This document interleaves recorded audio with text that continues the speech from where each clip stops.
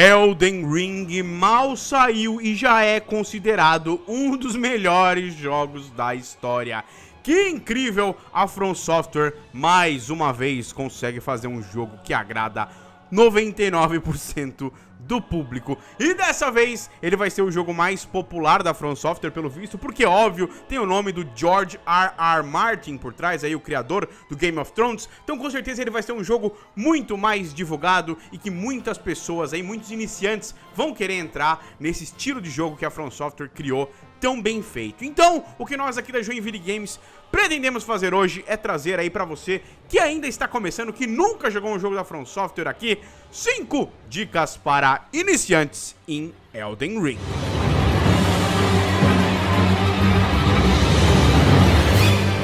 Primeira dica diz respeito aí à escolha das classes, né? O jogo tem várias classes para você escolher ali no começo, quando está criando seu personagem. E para você que é iniciante, a gente sugere você escolher a classe Vagabond. Por quê? Porque ela é uma classe que ela vai te dar aí a opção de você jogar é, de duas, duas formas. Você vai começar ali com os atributos bons para você dar porrada, é uma classe boa, aí como se fosse um, é, é, um knight, né, cara? Um cavaleiro, mas ela também com apenas uns pontinhos ali que você aumentar tanto inteligência ou em fé, já te dá acesso aí a você poder realizar tanto magias de cura quanto magias de ataque. Então você fica aí praticamente o melhor dos dois mundos. Um guerreiro que também consegue utilizar magia. Então é aquela classe ali mais balanceada, usando magia para se curar, usando magia e também poder dar porrada quando você precisar. Você vai ter essas duas forças aí do seu lado se você utilizar a classe Vagabond.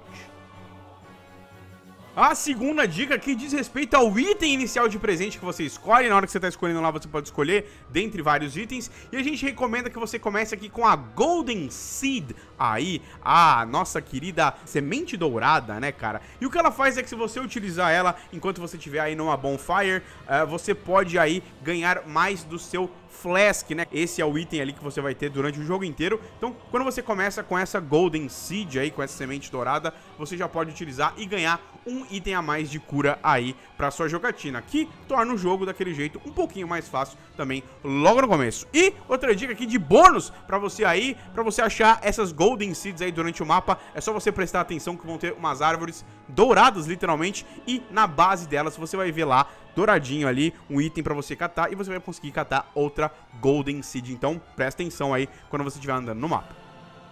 A nossa terceira dica aqui fala para você procurar crânios com olhos dourados aí. Fiquem de olho, vai estar pelo mapa. É um item ali que você quase não vai ver, ele é bem pequenininho, mas vai ter um crânio com os olhos dourados, assim, ele vai estar brilhando dourado. E o que você tem que fazer é simplesmente quebrar esse item. Você pode dar um ataque nele, pode rolar por cima, ou só passar por cima mesmo com o seu cavalinho ali.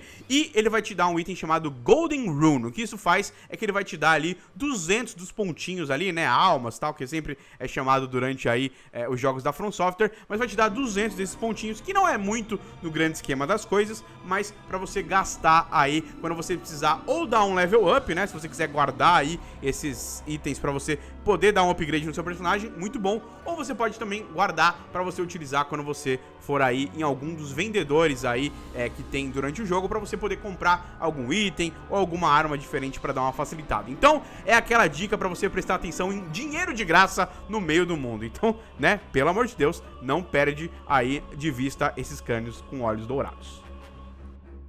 A quarta dica é extremamente importante, que é sempre ficar com menos de 70% no seu equip load. O que é equip load? É a quantidade de equipamento que está em você e a quantidade de peso que você consegue aguentar. Quanto mais força você botar no seu personagem, maior vai ser esse peso. Mas lá no menu você vai ver que tem um lugarzinho que mostra lá o seu equip load e mostra uma porcentagem. Quando você passa, na verdade quando você chega a 70% e passa 70%, o seu personagem começa a dar uma rolada um pouco mais lenta. A rolada é esquiva do jogo, né? E ela fica um pouco mais lenta e com menos frames de invencibilidade. Então, se você tiver aí menos de 70%, 69% para baixo, você vai ter uma rolada de boa e vai ser a melhor rolada do jogo aí, quase, é, né? Você consegue ainda roladas melhores se você tiver menos porcentagem, mas menos de 70% é o mínimo que você precisa ter, porque depois vai ficar muito complicado mesmo para você dar a esquiva do jogo e vai te deixar muito pesado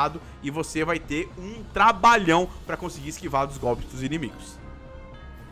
E a quinta dica é sempre que você encontrar um rola bosta, é isso aí, nesse jogo agora nós temos aí rola bosta, que são aqueles, né, besourinhos que pegam uma bola de bosta e ficam rolando, corre pra ele e mata ele, porque ele sempre vai te dar alguma coisa, alguma recompensa muito boa. Eles, isso aí já é uma é coisa clássica aqui dos jogos da From Software. Todo jogo tem um desse tipo de monstro. Ele não é ofensivo com você, tá? Ele não vai te atacar, mas assim que ele te vê, ele vai sair correndo de você e depois de um tempo ele acaba desaparecendo sozinho. Então, assim que você vê um deles, corre para cima deles que eles podem dar novas habilidades, eles podem reencher aí os seus é, é, os seus flasks, né, para você recuperar vida, o seu item de recuperar vida, pode recuperar sua magia. Ele tem vários várias e vários tipos desse aí, é, é, desse rola bosta pra você identificar no jogo e você pode ganhar recompensas e são sempre recompensas sensacionais. Então vale muito a pena, presta atenção, não perde aí e detona os rola bosta aí, apesar de eles serem bonzinhos, mas